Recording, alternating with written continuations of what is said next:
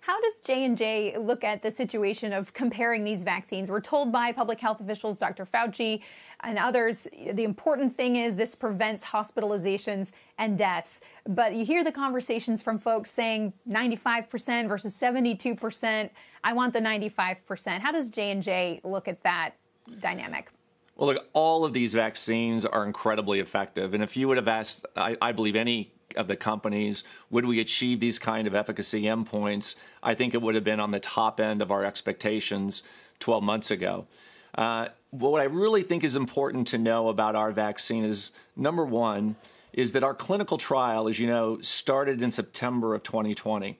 And if you look at the incidence rate of COVID 19, not only in the United States, but around the world, that's unfortunately when we really started seeing that second wave. So the incidence rate went up at a very, very high rate. Secondly, we conducted our clinical trial on a global basis. So about 40 plus percent of our patients were here in the United States, but almost 40% were in Latin America and 15% were in South Africa. And what's really important to know is that of those patients in South Africa, over 90% have the South African variant, which of course, you know, prior to this point in time, in the summer of 2020, the incidence rate was much lower. The same with the P2 variant, as you know, Dr. Scott Gottlieb has talked about it here on this program. Uh, that's occurring in Latin America was also at a very high rate.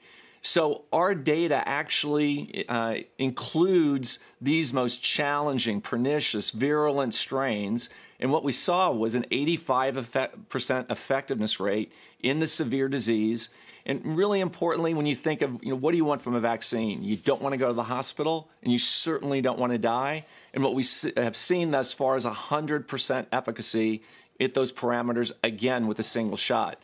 So as, as you well know, you, all of you talk to analysts on this program each and every day. You, there's a lot of different ways to try and do comparisons, but when you really look at what's the objective here, keeping people out of the hospital, keeping people from dying, we believe this is an incredibly important tool to be added to healthcare systems, let alone for patients around the world.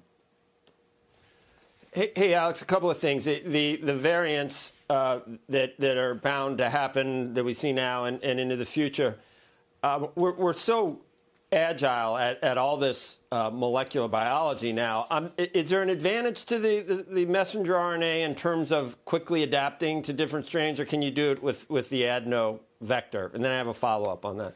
Yeah, well, Joe, I think I think both of these platforms, as you well know from your background, the great news is the agility, the flexibility that we have to actually literally be, des- be designing software real time to help address some of these new and emerging variants. So in this case, uh, I believe the other companies are already working on options for the variants.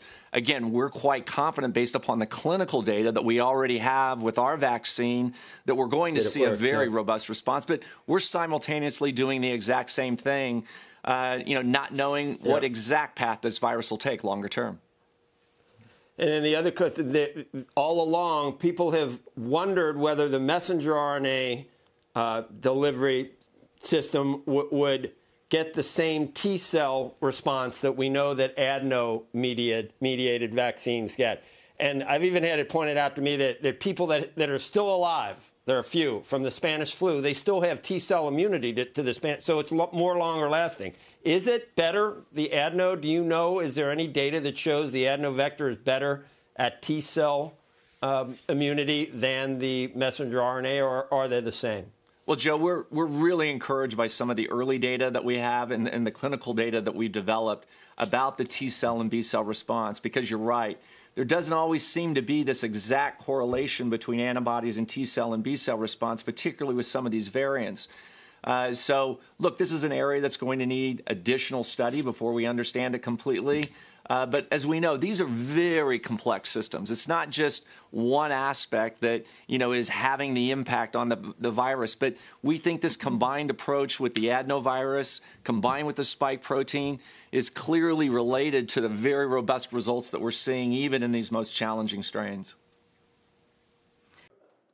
Shepard Smith here. Thanks for watching CNBC on YouTube.